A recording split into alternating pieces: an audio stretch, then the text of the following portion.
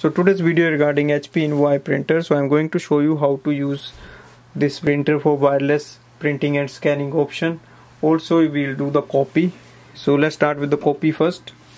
To do a copy we need to place a page on the scanner bed facing downwards.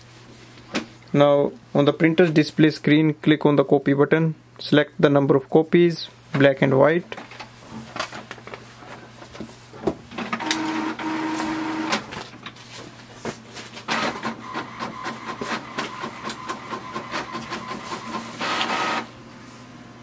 and now I'll show you how to do the wireless printing.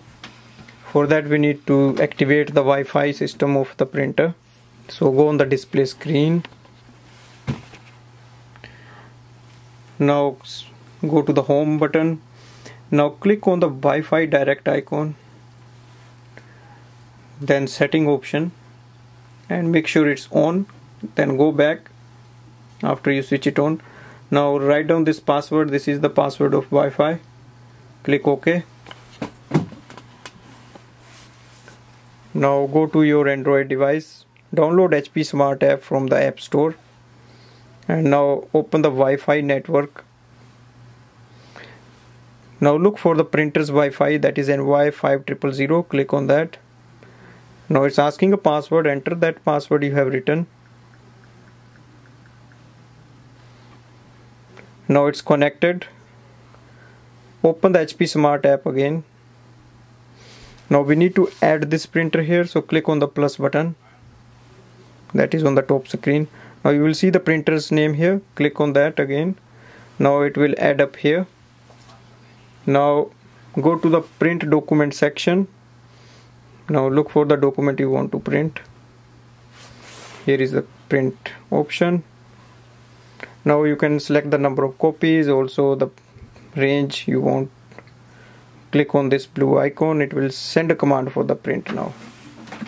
So just wait for the print to come out.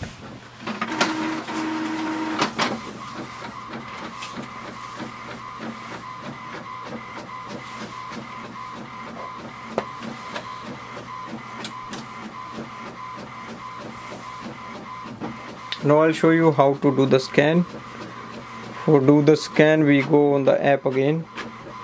Go to the main screen of the app. Look for printer scan option click on that.